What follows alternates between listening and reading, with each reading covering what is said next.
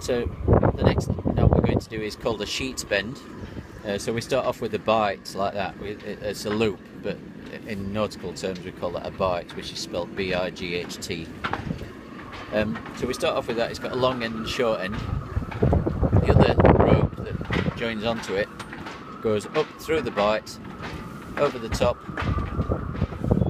round the back, and then under itself. See that um, that's the sheet bend. If we then pull it tight,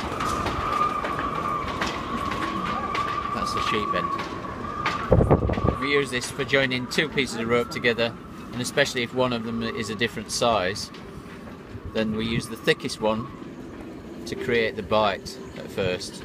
So if there were unequal sized pieces of rope, we would use this one um, as the, that would be the thickest one. So once again what we do is we pass up through the bight, out on the side of the short end of the bight, round the back and then tuck our rope through itself like that and pull it tight and that's a sheet bend.